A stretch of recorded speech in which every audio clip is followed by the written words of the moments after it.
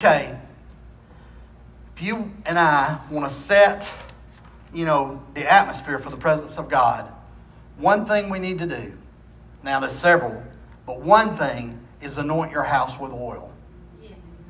You say, I have never heard of anything like that in my life. What about in the Old Testament when the death angel was coming and they anointed the doorposts with the blood of Jesus? You understand it, it kept the death angel away from the Israelites' families. They didn't it, it, they weren't touched.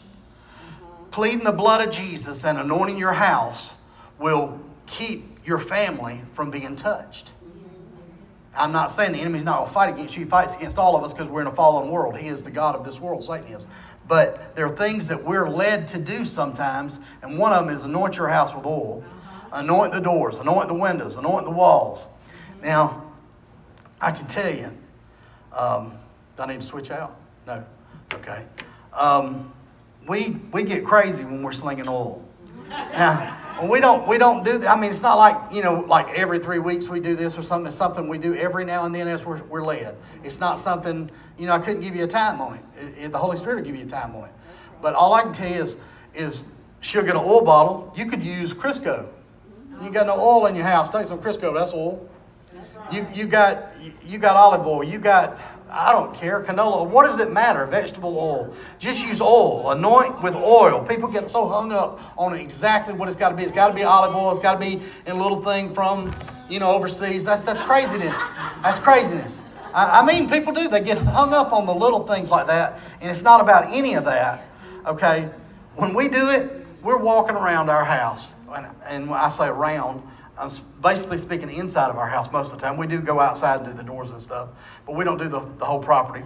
But anyway, we we just we anoint stuff and we're praying in the spirit. Now, if you were just looking at us, it looks like the craziest thing you've ever seen. We're just marching from room to room, you know, uh, marking the doors. We're marking the windows. We're marking, you know, anything in the house. The dogs. Yes. Charlie will have oil on his head. Abby will have oil on her head. Gracie will have oil on her head. Granny will have oil on her head. You understand? We will. I mean, we anoint everything in the house. We, I mean, we're just anointing. We're just being led. I mean, you know, it's not a religious practice. We're doing it because we're saying the blood of Jesus covers this house. The blood of Jesus covers our animals. The blood of Jesus covers us. The blood of Jesus. We're praying. We're praying in the Spirit. We're making word based declarations. No weapon formed against me or my family will prosper. No weapon formed against this, this house will prosper. No plague will come to our dwelling. No plague will come to our dwelling. We bind accidents. We bind falls. We bind evil. No evil shall befall my family. No evil shall befall my house. We declare the mercy of God is in our family. The mercy of God is over our house. What you're doing and what I'm doing when we anoint our houses is we are clearing the atmosphere. By anointing our house and by pleading the blood of Jesus Christ, we're setting the atmosphere in our home for a greater move of God, and we're clearing the atmosphere of anything, any evil spirits that could have came there and got attached into our home somehow. See, sometimes we have interference in the atmosphere, and it needs to be cleared.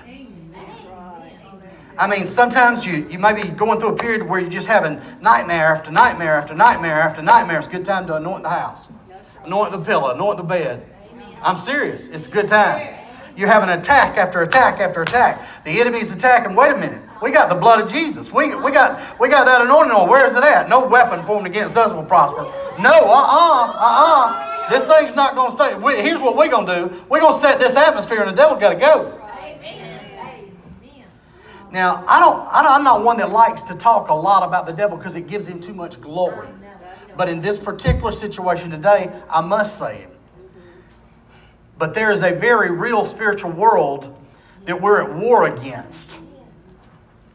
And we can't see it with our natural eyes. Now, here's something that I read, and oh my God, I had never saw this this way before, and this just blew me away. I, I should have realized this but this is so good. Anointing your home